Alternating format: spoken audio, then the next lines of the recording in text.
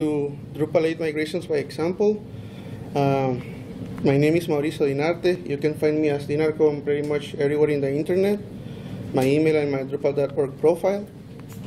I am from Nicaragua, beautiful country, and surely warmer than here. So if in the winter you need to escape, Nicaragua is a very good place. Uh, I'm Ben Melançon, Mauricio De Odegaard, and I am from uh, Boston in the United States, but we'll be moving to Minneapolis, so it is fantastic to be at this camp.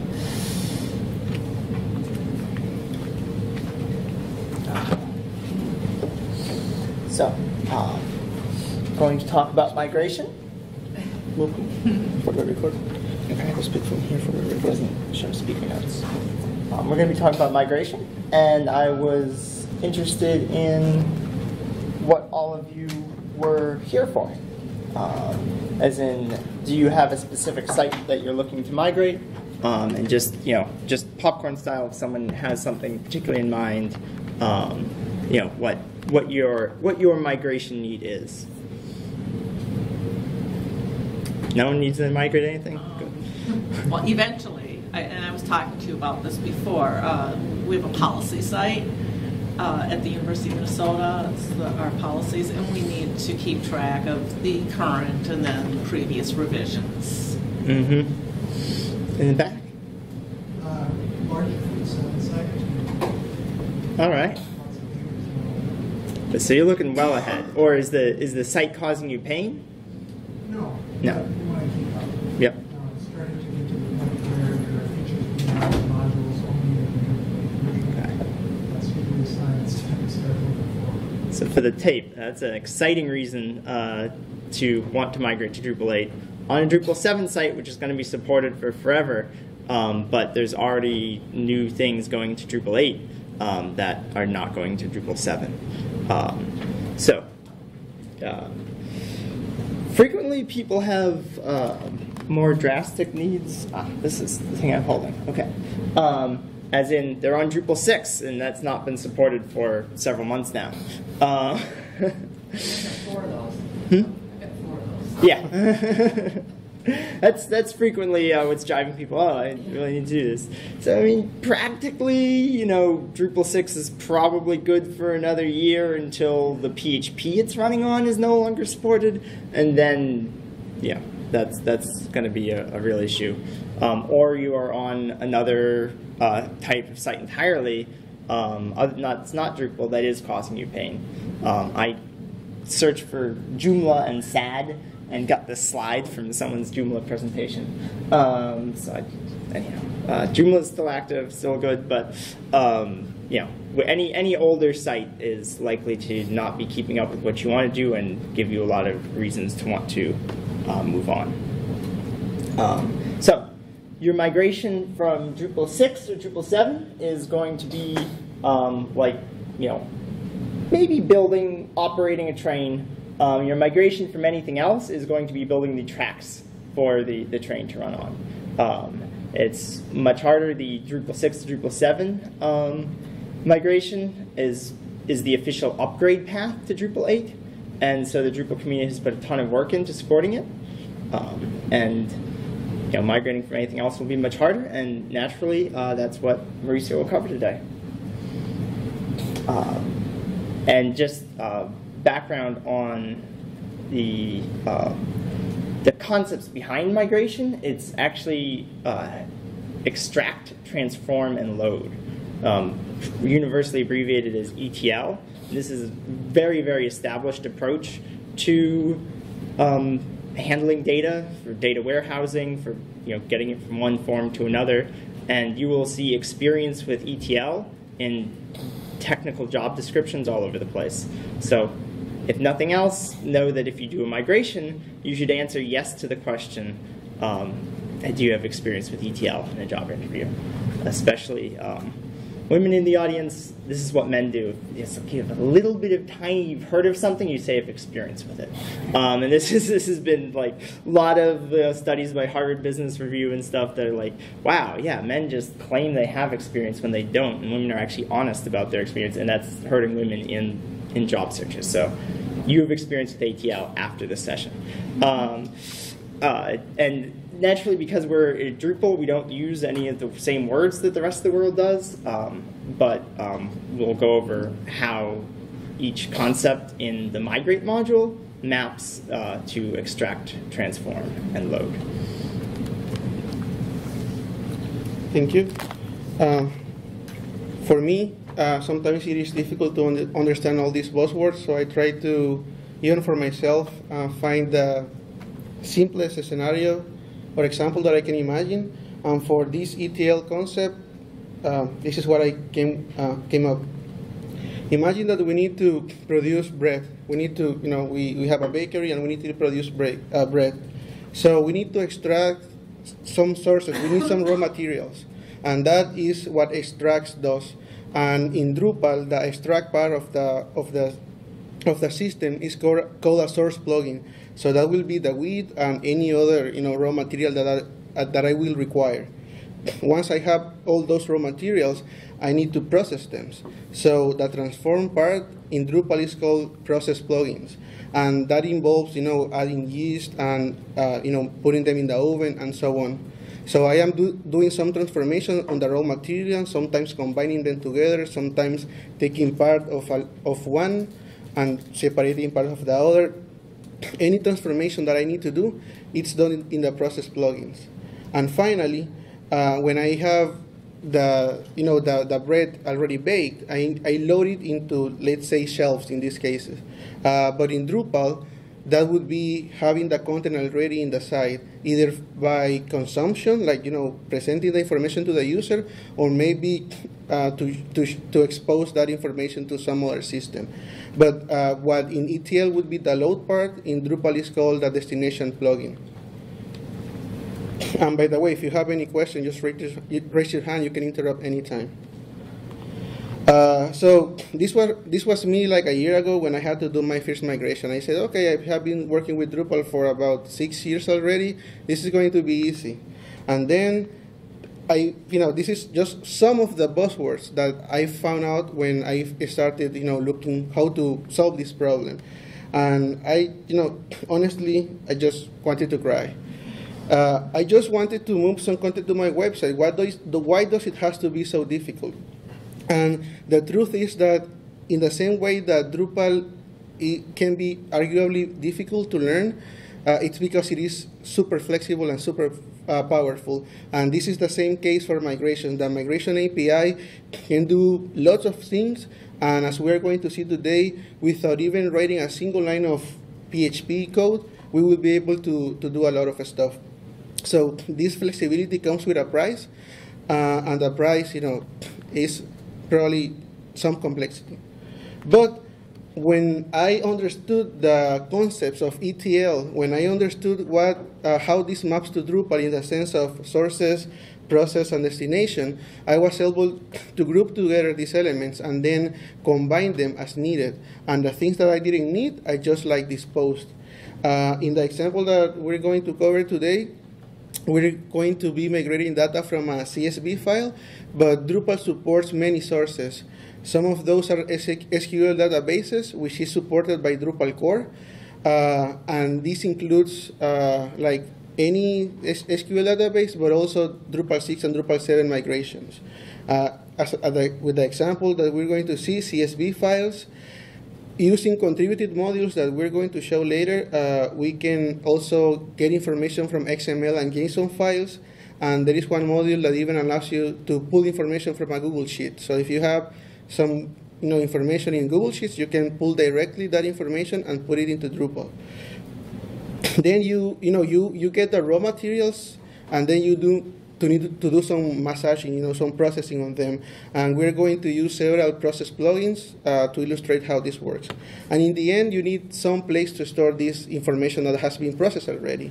In our, or in our example today, we're going to do that in a node, but migration uh, allows you to also store the information as users, images, files, paragraph. And we're going to cover uh, image and a little bit of paragraph today too. So let's imagine this uh, we have a simple CSV file with information about uh, professors in a university. We, the source, uh, it's a CSV file that has the first name separated from the last name and then the department where they belong. So that is the source. In the end, we don't, we don't need in our Drupal site uh, to have the first name and last name separate. We just want the name and we want to put them together.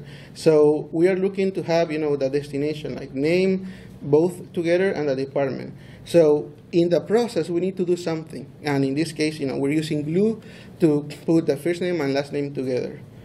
And we're going to do a live demo. And you know, what can go wrong when you do live demo? So if anything doesn't work, please be- bear with us.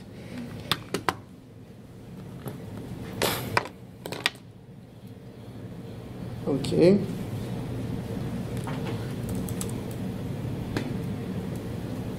So we have a Drupal site. Um,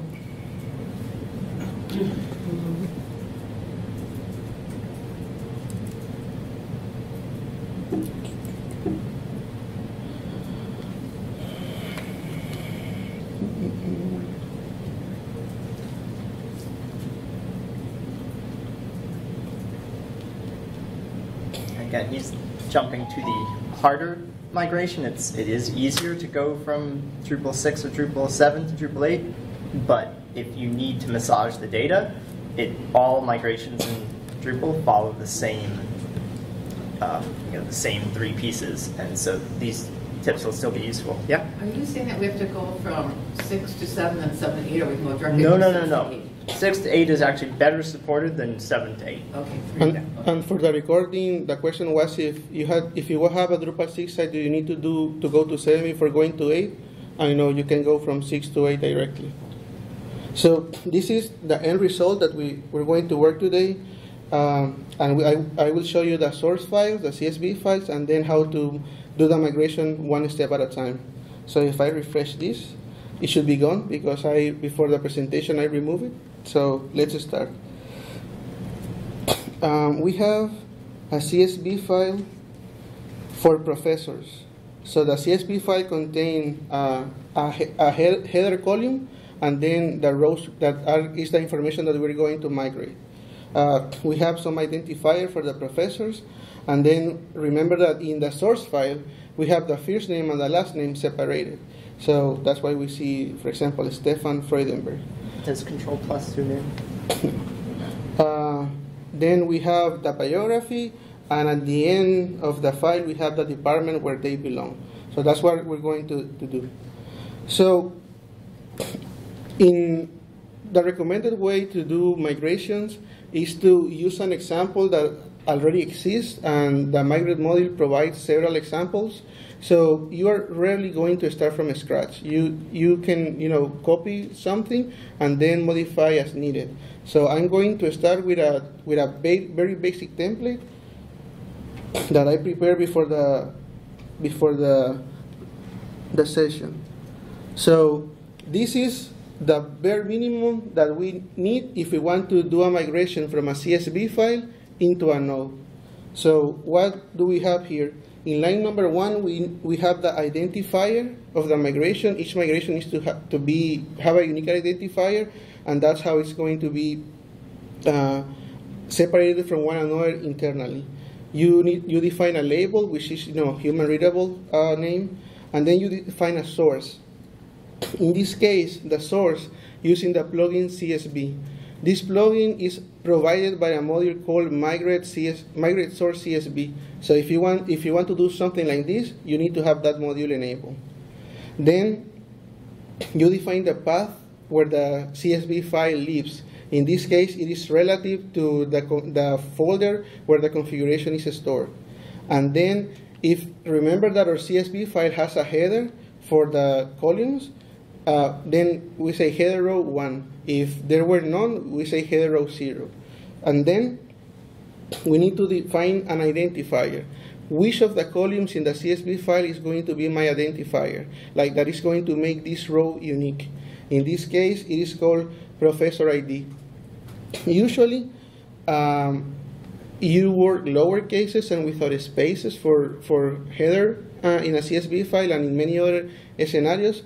But to make it clear uh, for this presentation, every time that you see quotes and some you know spaces and capital letter, that means that that column comes from the CSV file. It is not required, but it, it is going to make you know explaining uh, easier. So that is the source. At the end, in line 14 and 15, we define the destination. So the destination, we say that we're going to use the plugin entity node. Entity node, what it does is stored in a content type. Uh, that is provided by Drupal core out of the box. And we need, you know, we are missing the middle part, the process. So in here we do two things. One, we define the type. The type is the content type that we're going to use. So the content type in this case is going to be the same for all the nodes that we migrate using this CSV file.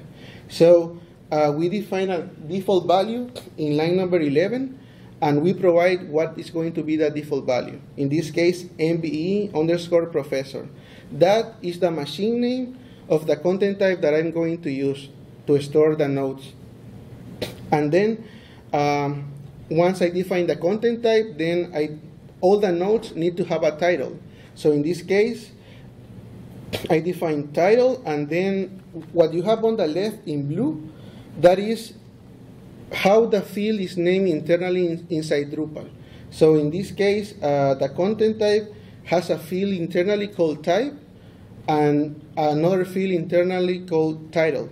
And then on the right, this is the column that comes from the CSV file. So in the CSV file, we have a, a column called first name, and we're going to put whatever information is there into the title.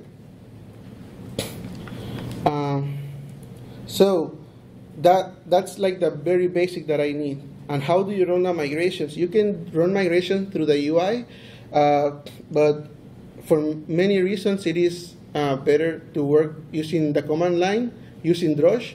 So I'm going to explain the process using Drush. And to be honest, it's like two or three commands, and that's all that we're going to need today. So can you set up this mapping in the UI, in the graphical interface as well? Uh, so the question is if you can set up the mapping in the UI. As, as far as I know, you cannot. You can you can run migrations from the UI, but you cannot do this mapping through the UI. So. Uh, so using Drush, there is a, uh, a command ms that will list all the migrations that you have available in your system. Migrate status. migrate status. So in, in our case, the migration, remember that the ID that we define, this is what we see here, MBE professors, that is the migration. So if I do a drush MI, which stands for migrate import, and I, I put a machine name, it's done. It already says I migrated three, uh, three items. And if I go to the website,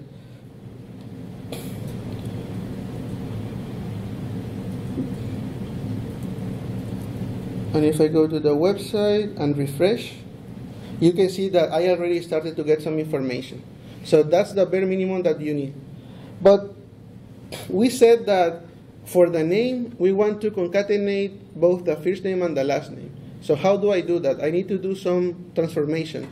And remember that the transformation in Drupal, uh, Drupal Migrate, are done using uh, process plugin, process plugins. So if I go to that documentation, and this is the only, this is the only one that I'm going to show today, uh, the, the other examples I'm just going to copy and paste from an already configured uh, file. It says that you can use a plugin called concat, which stands for concatenation, and then you define what are the things that you want to, you know, to concatenate. Important things to note is that this is documented in all of the process plugins that are already provided um, by the migrate module are listed, um, and also that you can write your own, that you can find the code for one of these and start tweaking it to process things however you want. Okay, so going going back to the editor, what I'm going to do, remember that uh, when in the process section, on the left, I have the field inside Drupal, and on the right, I have the source in the CSV file. But in this case, I am going to do some processing. So I remove that and paste this. One very, very important thing is that this is using YAML, and YAML is very strict with the spaces. So if you have, like for example, if you were to have something like this, it will not work. If you were to have something like this, like you have two, like four spaces instead of two, it will not work. So if for some reason, um, something that it is very clear that should be working, it is not, just check your white spaces. I, it has happened to me many times. Like when you copy paste, um, that's actually one good way to do migrations in Drupal 8. Uh, sometimes the editor doesn't do the formatting well, and then you know things like that happen. And So- no tabs, Excuse me. no tabs. Yep. Has to be spaces. Yeah, these are these are spaces. Uh, in this case, uh, I'm using PHP Storm, and that transforms the tabs to, spaces. But if you are using anything else that you have to manually enter the correct white space character, make sure to use two spaces. So, okay, the title is going to be populated with the concatenation of two things. What are those two things? Are the first name Remember, these are columns in my CSV file and my last name. One thing to note is that I am doing this using YAML files.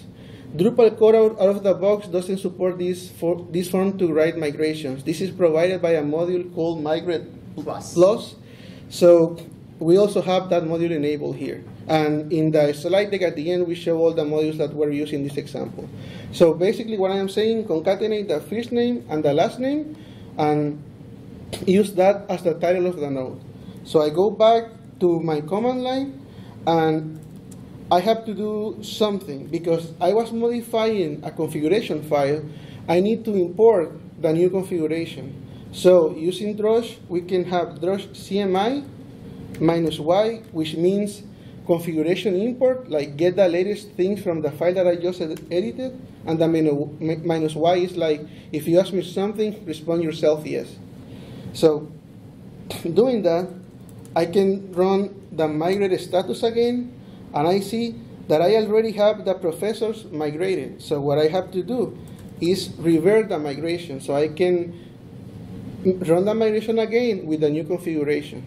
So in this case, MR, which stands for migrate revert, and the name of the migration, it says roll back. If I go to the website and I refresh, I see that they are gone.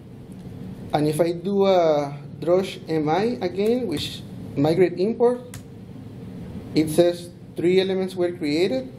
And just a really quick tip, you can, if you have a CSV that has 10,000 items in it, Migrate can handle that, but it's really annoying to wait for it to process 10,000 items while you're just trying to get your migration working. So if you do dash dash limit 5, you know, it'll run as quickly as this, and you can just keep doing it until you get it right, and once you get it right, then you run the whole thing. Um, and I don't know if that's documented as well as it should be. Okay, so we now have the name and the last name concatenated, but there is a problem. They are, you know, too close to each other.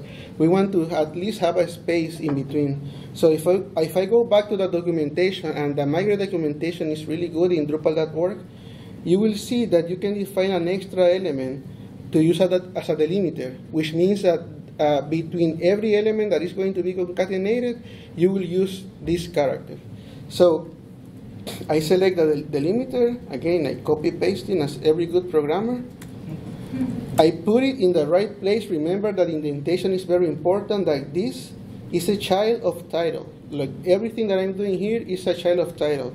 And I don't want a slash, I want, oops, sorry, I want a space. So again, Drush, oh, sorry, Drush migrate revert, the name of the migration, Drush migrate import, the name of the migration. Oh, this is common. If I refresh, if I refresh, what happens? It, it doesn't happen. And why? Because I didn't import the new configuration. And one thing to note, when working with migration like this, and you need to import configuration, sometimes you also, like in the process, are making modifications to the website. Maybe you added a field or you changed the configuration of a field. Remember that you will be importing and exporting, and that pro process is wipe out everything. So if you happen to make a modification to the website, then you make a modification to the YAML file that defines the migration, and you import that, then the new configuration for the migration will be imported, but your changes to the to the website are going to be lost. So you need to be very careful in, in like the order of operations. You first make your changes, export them, and then you make the changes to the migration and import them. You need to keep that in mind. And you know, I just like forgot about that in this case. So As usual, Git is your friend, uh, version control. So just, you know, doesn't matter if you tested it or not yet. Git commit any changes you make to your YAML file. Then it's always safe to export everything and then just check out the one file that you care about and then import everything. And And now it works. We have the last name and first name with a space in the middle.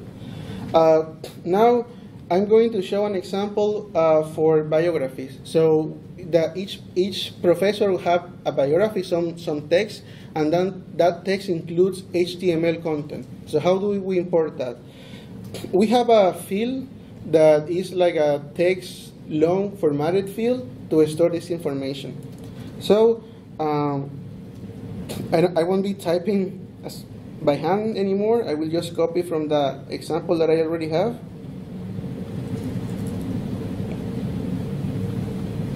And so the field name in this case is named uh, field MBE biography. That is the machine name of the field that is going to store the biography information. So I need to do two things. One is that I need to define the value. I need, I need to define the format. Remember that this, this is a, a rich text field, so you can have basic HTML, full HTML, plain text, and so on. So I need to define for this field two different things. The value, which is going to be uh, you know, whatever that it is in the CSV file, there is a column called biography, whatever is there, we're going to import. And then for the format, we want that all the migrations use the basic HTML format. So again, we're going to use a plugin named default value. Uh, this is the same thing that we use to define the default uh, content type. And then we say basic HTML. Uh, so by doing that, again, Drush CMI, Drush migrate revert,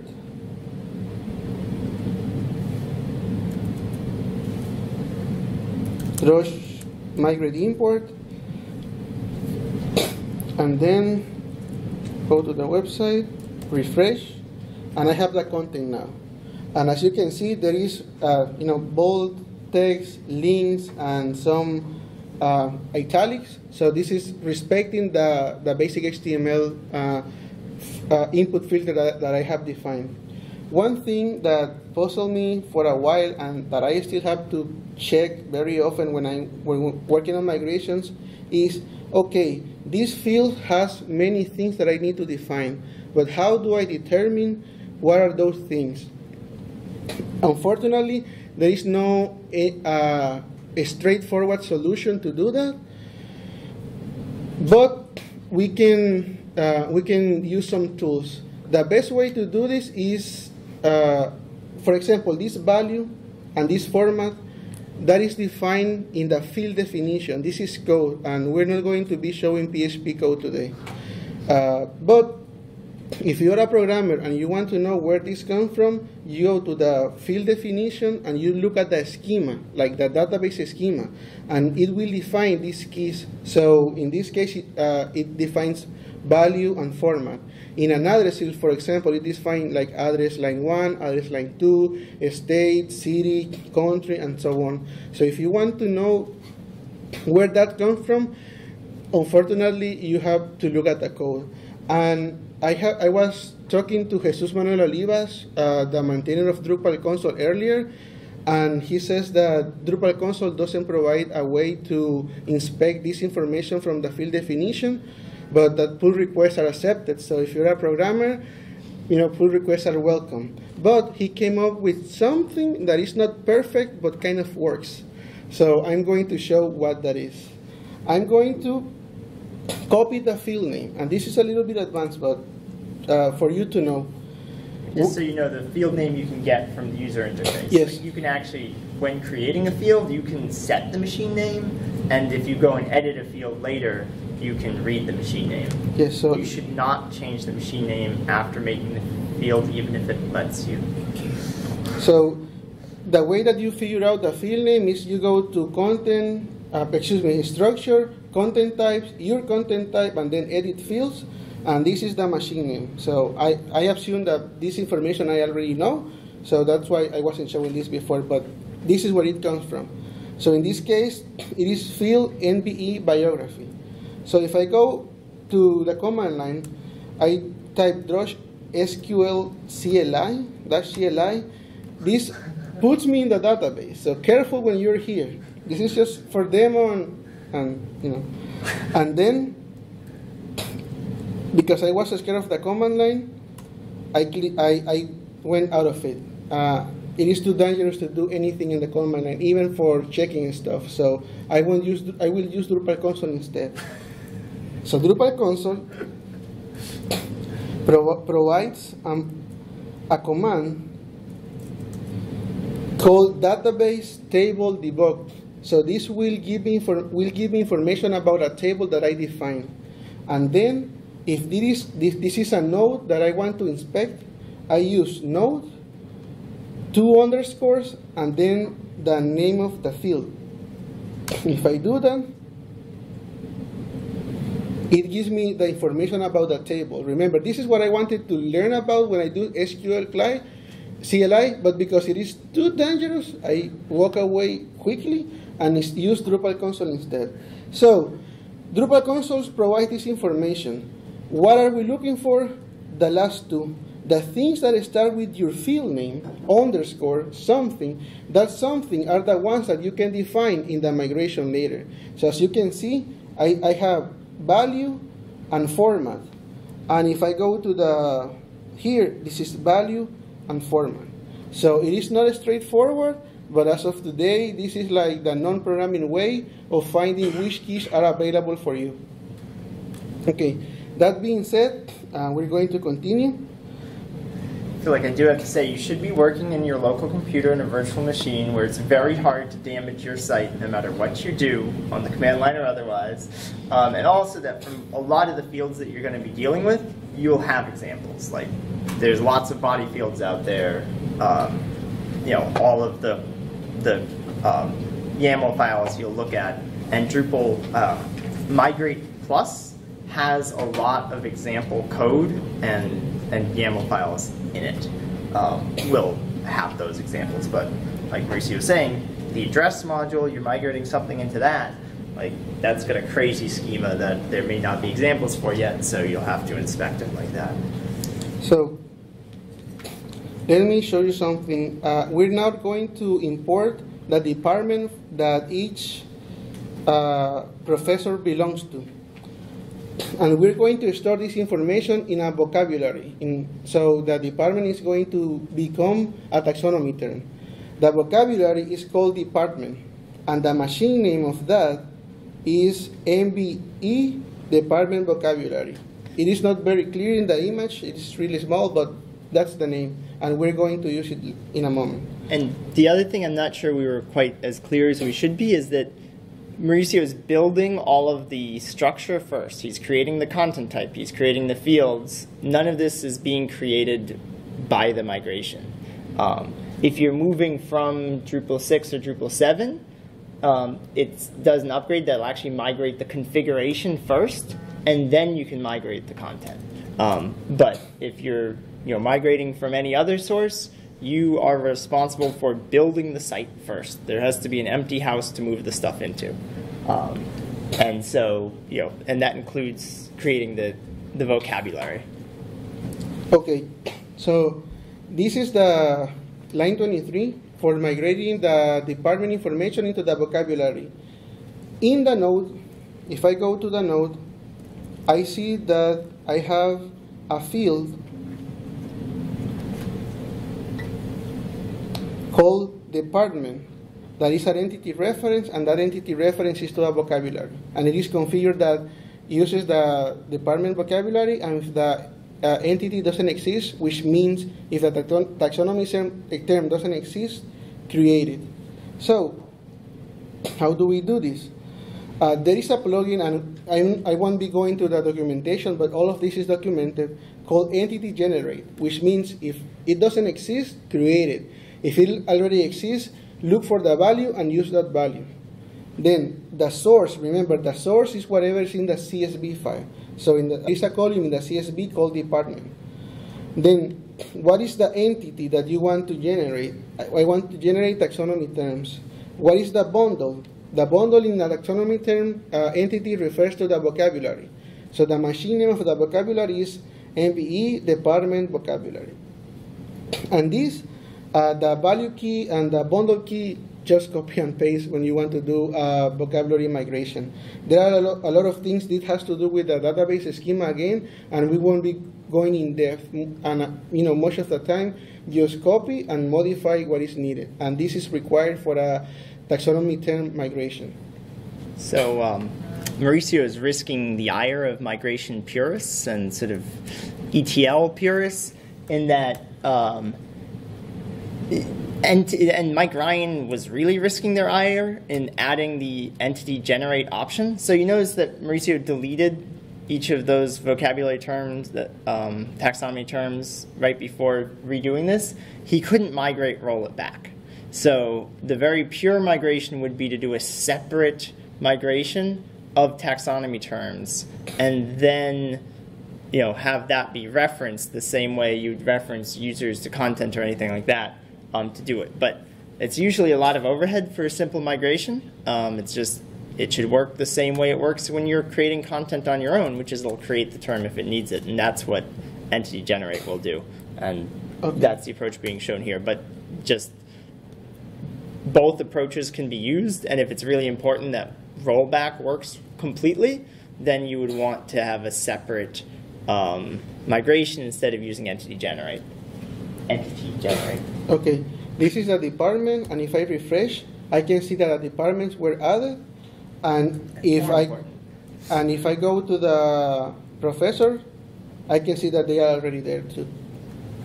Yep. What's the, what's the risk if, does the rollback just not roll back the taxonomy terms that are created? Yep. Is that actually harmful because clearly Nope. entity generate or entity create basically does a, oh, create if needed, right? Yep, exactly. So, So for if you're happy with them, it's, Yeah. there's no problem. very like if for this example, like there's really no reason to have done a separate migration because yeah, it's like I mean, so the worst case is like If there's one you didn't need anymore. Yeah, exactly. So if you're importing 10,000 things and like you're cleaning up the Yeah. the original source file, you know, that's an issue, but I mean there's, you know, you can do programmatic ways. I mean, if you're using an approach where you're sort of you- you're building you have all of the configuration of the site committed to version control and you're basically just site install fresh and then running migrate, which is a completely valid workflow.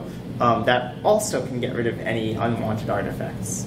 Yeah, Uh, and uh, of so- course, the other way, if you're having a bunch of related sites that might share the available taxonomy terms, then you can just do a migrate to an empty site and then actually put different professors and stuff, in, you know, if you have two, three, four different sites type of thing, Mhm. that would help you with that.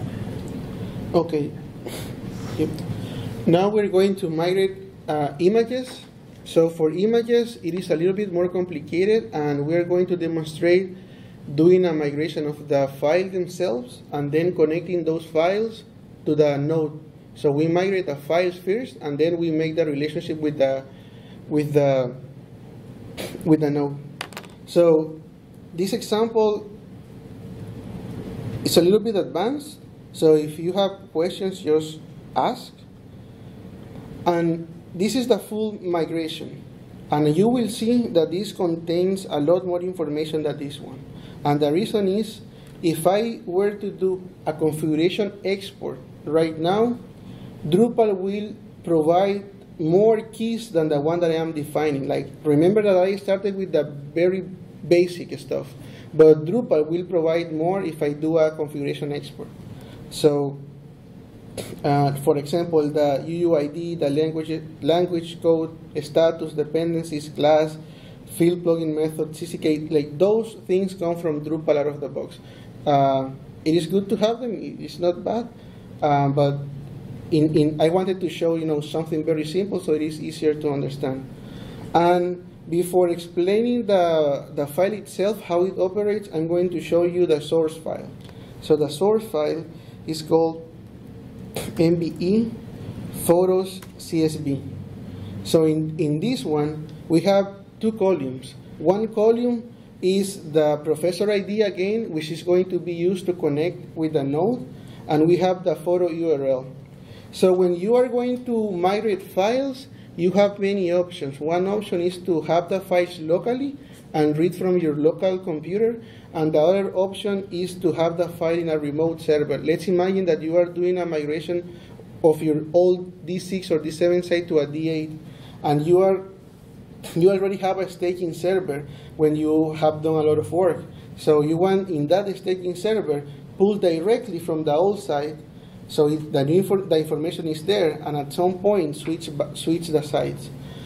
Uh, this is more. Can you say that again? So, if, like, I'm moving from an ASP site to a Drupal 8. Mm-hmm. So all the images are already stored on the server, like you just said. Yes. Okay. So now say that again about moving them. So for example, if you have an ASP site with all the images and you have the relative URL to them, you can use that from migrate to, to pull the image directly from the web server. Instead of having to download the images to your local computer and reading from your local file, file system, you can read directly from the web server. So this is what we're going to do now. So, you know, usually when we have a website, we have relative URLs for everything inside the website, and we are assuming that this is also the case for the images. So these are the relative URLs of the images in the agaric.com website. And because the domain is the same always, uh, we're going to have that as a constant, like agaric.com is going to be a constant, and we are going to append this, which is the relative path. And then that will give me a full path, and that is what I'm going to pull from the server to copy to Drupal. And uh, let's see how it works. So again, like I will remove the things that make noise. The ID is required, and everything else is not. Uh, here. So I am fetching eh, information from a CSV file. So I, I have the CSV plugin again, provided by Migrate Source CSV, the path, header count, and keys. In the source, I can define constants, which I'm, you know, I define a value and I can reuse that value later in the process plugins. So the source base path is going to be my domain. Like all my, my images are under http colon slash slash agaric.com and then the relative path. And when you uh, configure an image field, you define where in the Drupal site do you want to store these images. Uh, in this case, we are saying that we want to store in the public directory of Drupal under a folder called Professor Photo. So uh, this is going to be moved into Drupal public folder slash professor photo. And the destination, which we're going, uh, we're going to cover the process last, is going to use a plugin of entity file. In the case of the node, it was entity node. Because we are migrating files, it is now entity colon file. Now, how do we do the migration itself? Uh, remember that the source file contains the relative path. And internally, we need to define a name for the image. We don't want to have the name of the image be sites, default files, pictures, you know, everything. We don't want the relative path to be the name of the image. We only want the last part, like picture two, the numbers, that JPG.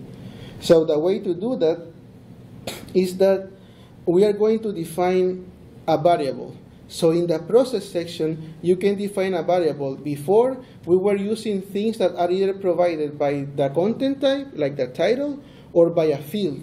But in addition to those, you can define any random string, and that is going to be a variable that will be available later.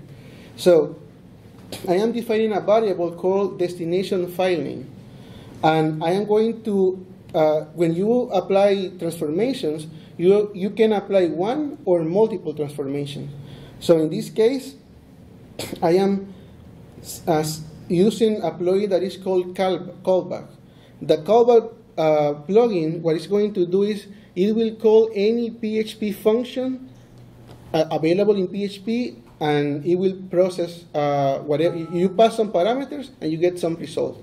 So in this case, the the function in PHP is called base name. And when I call this function, it will transform the relative path to only the file name. It will, it will remove the directory hierarchy. And I want to do something else. Uh, and this is not strictly required, but for you to know, sometimes where you are migrating data, uh, like not all the information is available. Maybe not every professor has a, a, a picture already in, in the website. So what we're saying here is that after you return from uh, you know the callback of base name, check if if there is a value. If there is a value, continue. If not, skip the whole row. Like do not continue doing any of the processing below. So like if it were if one of the columns were empty, with this option, we skip the whole thing. Maybe because it, without an image, it doesn't make sense to copy like copy an empty file that doesn't exist. So that's why we do this. But in some cases, like you can you can decide to skip the row, the whole row, or only skip the column, which translate to leaving the field without a value. And if you leave the field without a value, then Drupal might also pick up the default value that you define in the UI. So, and remember that this is a variable. The variable now contains the name only. So, I need to define the destination inside Drupal where this file is going to be copied over. How, again, I define another variable, in this case, destination full path. I use the concat plugin, and what I am doing is I am passing two things and I'm going to put a slash in between them.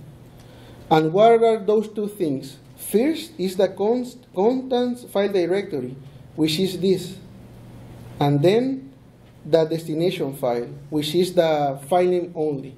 So when, a, when an image is going, to, is going to be copied over in Drupal, it will be like a public directory in a subdirectory called professor photo and then the name of the image.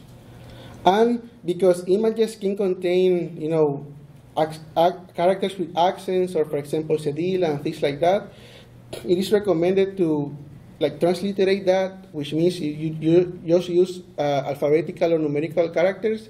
Then we do a URL encode, and that you know, what that whatever the result of this, we encode that. Yes.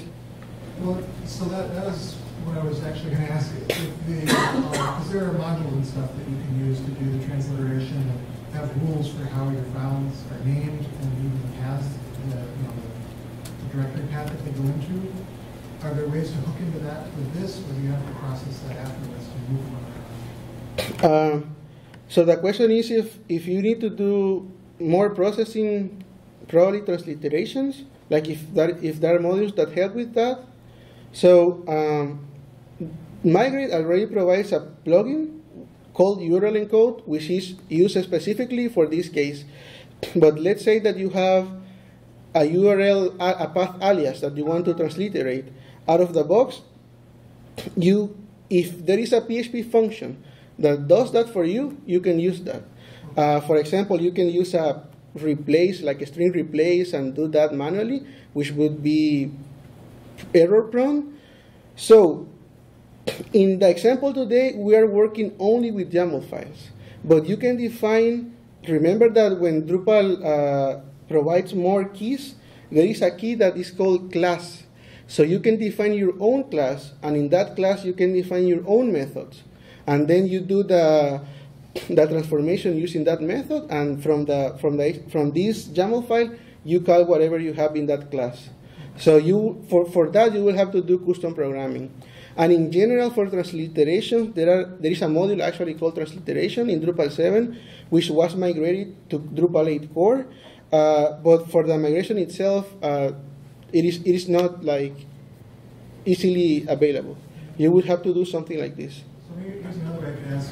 There are, there are rules set up for creating a node, so like when I upload a file or I put things in, they get processed when the node gets saved. Does any of that get triggered when you do it through this? Or, or do you have to do that after the fact? So let's say that, so the question is, let's say that I have some hook, for example, that acts on node save, and that using that hook, I transliterate the, the path alias, for example. That will work. Uh, migrate triggers the, the hooks, but that's a good question because sometimes it is not desired to trigger the hooks because it is a very expensive operation. Doing a node save and then triggering the hooks is a very expensive operation in terms of time and resources. So if you have, if you're migrating 100,000 nodes, it is going to take a lot of time. So the migrate API allows you to define what hooks do you want to skip, and then you can do that. And also that's different from form validation, which, which will not be. Yep. Correct. Yeah, for, for validation won't be triggered by this. In fact, you can you know you can enter whatever and any invalid data using a migration, and it will it will put the, the, the information there. For example, if a field is set as required and you don't migrate that field in the migration, it doesn't matter. It will s- still save the node. So form validation uh, is not tied with the migration itself. So you need to be very careful, and you know this is like an iterative process. You try, you, you you see the result, you go back, you modify until you get the result that you need. And just, I Mauricio, was, as Mauricio was saying, you can define more methods. Like you can, you you you know, you you can use your own class in your migration, and then in that case, you just want to take the migrate the class that was being used and just create your own and inherit from the old ones, So you all you have to do is add one thing. But in the case of, of process plugins, um, you could just take the URL encode plugin um, and um, and copy it, you know, and then make your changes and keep it available to everything. Um, you know, obviously not in core. You keep have that in your own module, but it's it's pretty easy to support more process plugins. And that with that we have the destination where this is going to be stored in Drupal, and now what is the source? Where where are we copying copying from? Again, we use concatenation. We get the constant uh, source base base path, which is http colon slash slash agaric.com. We put a slash, and then again the relative path that we have defined in the CSV file. And this is basically, you know, the full path to the image on the web server. And when we have two, these two variables, then we have this is expected by the file entity my, uh, destination. It expects to define an URI, and then you, you call the plugin file copy, and you pass the source path and the destination path. And by doing that, if I go to the terminal again, Drush migrate status, photo field, uh, migrate import, it says three elements were created. If I go to the site, uh, to content and files, I can see that the files are already there. Like if I were to revert that migration, these files would disappear. But so far, I have only migrated the image itself. If I go to that to here and I refresh, I will see that the photo is still not associated with the with the node. So now that I have the file in my in my Drupal installation, how do I you know associate it with the node? Let's see. And it is this code here.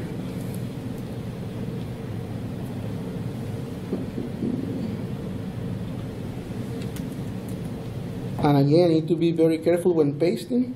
So the, the in the node, uh, in the content type for, for professors, the field is called field underscore MBE underscore photo. And then I define a target ID.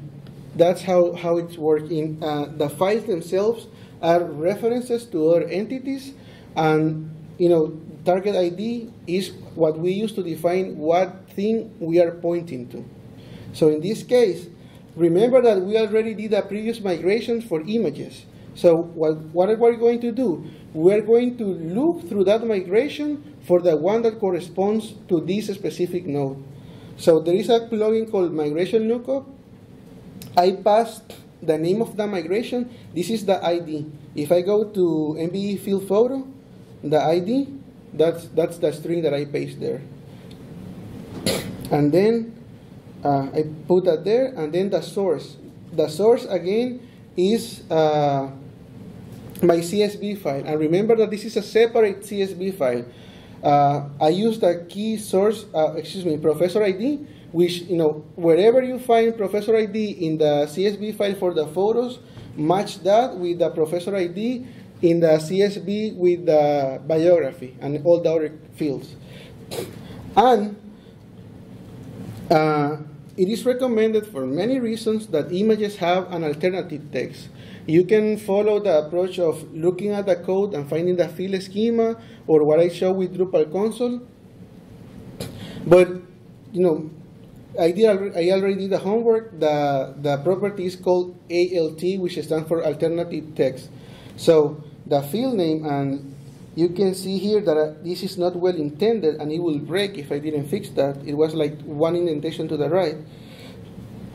Uh, the field photo, alternative text, and then I define a default value for this. And the, the alternative text for all the images is going to be professor headshot. So if I do that, Drush CMI uh, to, to import a new information, and then I revert. Uh, excuse me. and migrate again, go to the website, refresh, and I have the photos now.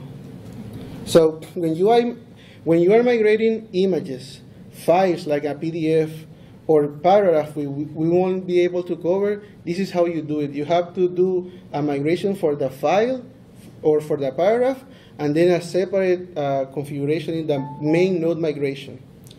And one thing to note is that you can imagine that the migration from the node depends on the migration of the image field. So there is a way that we can uh, make that explicit. So we can add an extra key the, to the CSV file. Oops, sorry.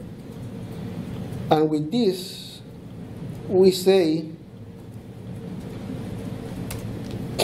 uh, this migration will depend on, on this other. Uh, if I were, if, if this weren't in place and I try to run the migration, it will try to work and fail if the previous migration has not been run.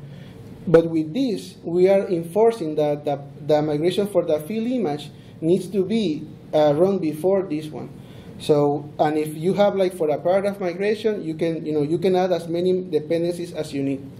And if you want to see the you know more keys, for example, you can also define module dependencies. For example, this migration requires the CSV plugin that is defined by the migrate source CSV. So you can you can in here you can define dependencies, modules, and then you, the list of modules that are required.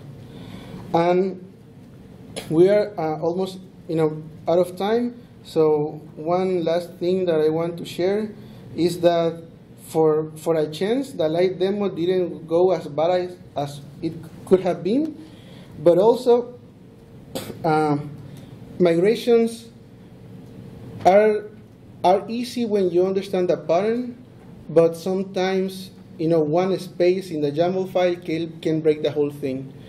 So this is Adam Globus-Hoenich, Feno Proxima. He is a migrate maintainer, and about two weeks ago we were in, in Boston, and he I was asking him some question about migrations, and we spent like an hour in something that was obviously correct but didn't work. And he said this is impossible to understand for people that are not migrate maintainers.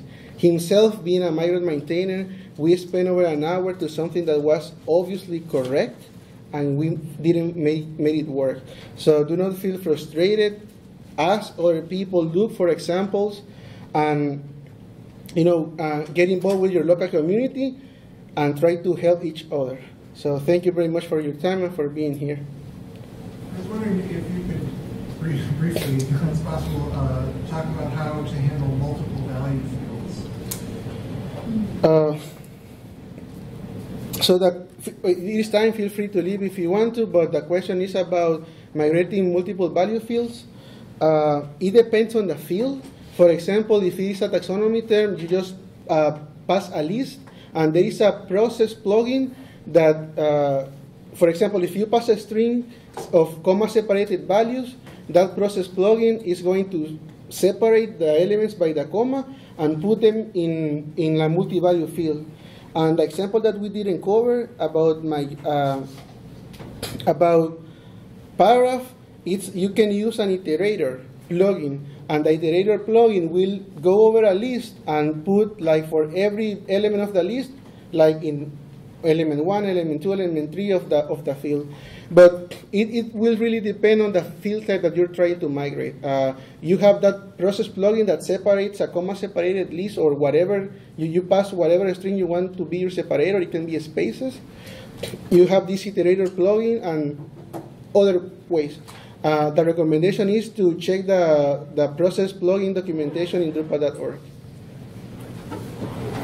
Um, In Drupal 7 migrate, um, when I was migrating from a really bad spaghetti code system I'd written, um, one of the problems I had is I wanted to maintain um, full history of when things were created and stuff. So like I had users that have been on the system for like 10 years.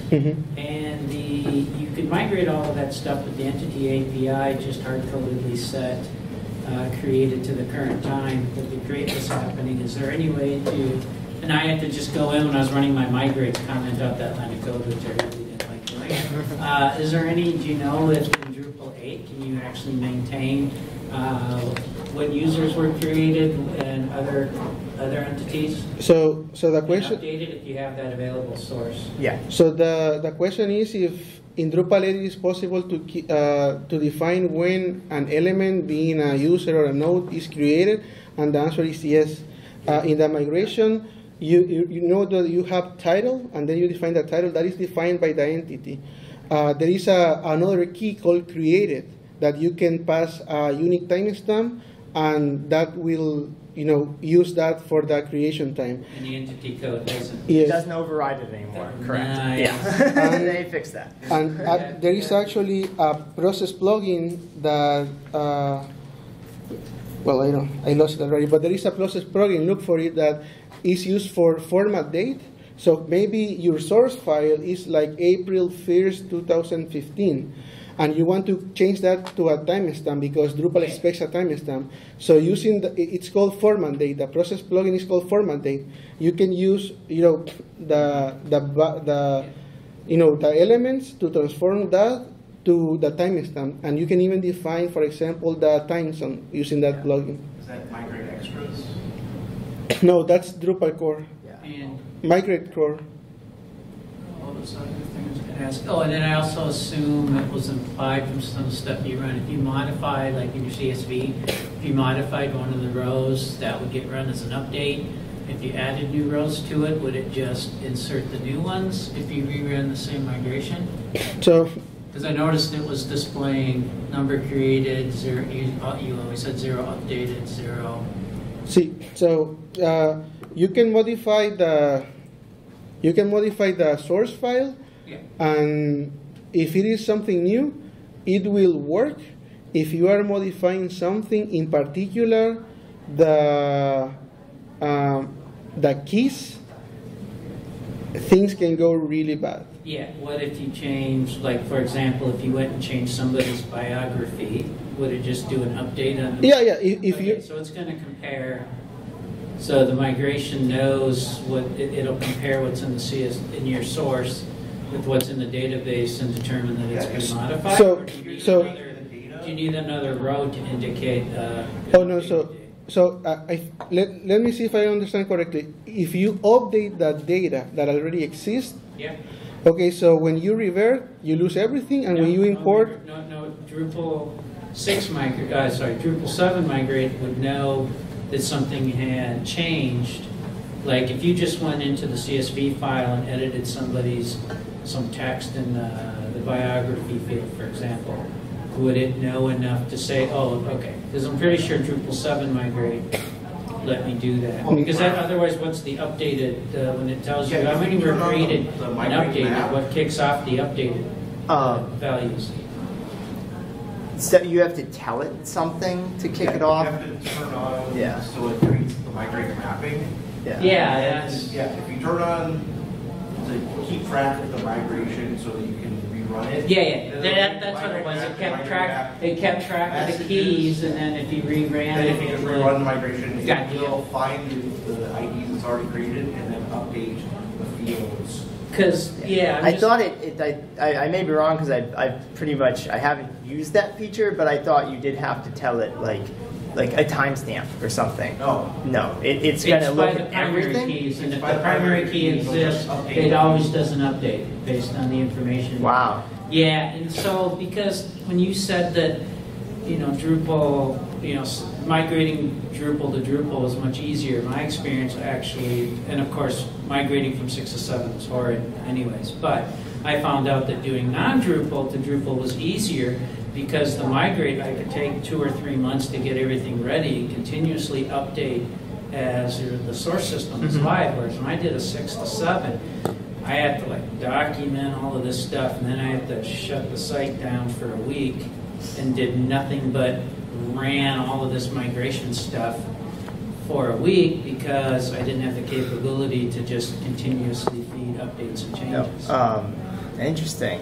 Um, yeah. Um, again, for for the way we're doing it, for moving from Drupal seven to Drupal eight Yeah. for a very large um, site, is that we just you know you know You just undo it and redo it. Yeah, we just undo it, redo it, and like before going live, you know, we, you know, we, you know, the site's live, and we've migrated, you know, up to that point, and then we just have to, you know, turn the site off for like, Yeah, you know, the- the a minute, like just like no, nobody add any more content, Yeah. and then we uh, just import the last, you know, yeah, ten this nodes. is where I meant the Drupal And- six yeah. Or- to seven upgrade process was in place with Drush. And it was absolutely horrible Mhm. because you had a crap load of field changes, you know. Oh, Yep. you, you had the old image field and, and all kinds of other Yeah.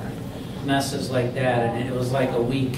It, it took a week actually. and and for long running migrations, we actually have in the audience someone who is expert in that, and I think there is a session about that this week. Mm-hmm. so if the person wants to raise his or her hand, very welcome. Otherwise, look at the look at the schedule because there is a session about long running big migrations. So have a look at that. There is this Not- weekend? Not the migration, it's- it's long recurrent imports.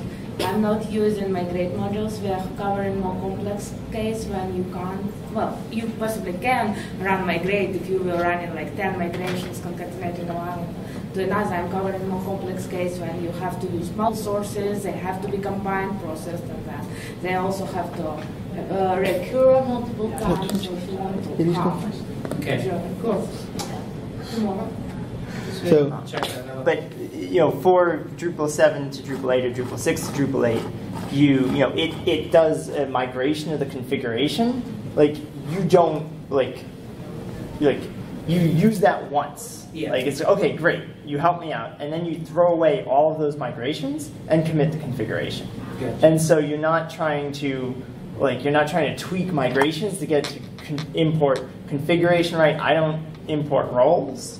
Um, you know, like, so you, you, you basically use the upgrade path to get you everything started, and then you do the kind of tweaking that Mauricio is showing, but you don't try to rerun all of the migrations that, um, that are given to you by a Drupal to Drupal migration. You, you use them all at once, and then you throw away, like, it- you know, you use them, you get all of this configuration, but then you get to tweak the configuration, and you throw out the migrations so it doesn't overwrite your configuration changes. Yeah, Um, it's like the, and the, stuff like the Drupal too. six one, I think it actually did it in a database that was either your Drupal six database or a copy of it. It was, it was hard. Yeah, no, it, it was not using migrate. Um, No, no, it yeah. was the, the, it was the drush migrate. Yeah, it was, it was, it was, so, you know, the migrate module existed, um, but the way that Drupal went from one version to another was like this unbelievably complex self-update and it left a disaster. Yeah. And there was no way to redo it programmatically.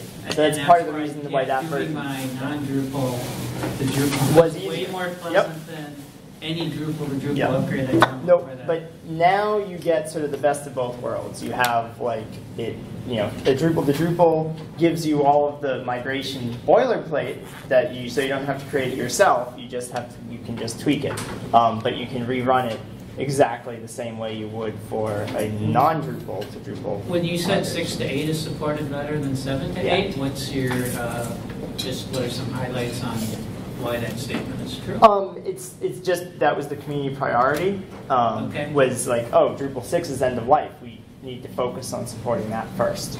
Um, so it just it was just prioritized and get it first. But I mean, we're doing Drupal seven to Drupal eight, and it's it's, It's well working. it's well Okay. supported. Yeah. Okay, good. And it's not like there's anything wrong with the Drupal seven one. It's just that it was a overall community priority to do Drupal six first, and then do Drupal seven. Cool. Well, Thank you very much. Merci.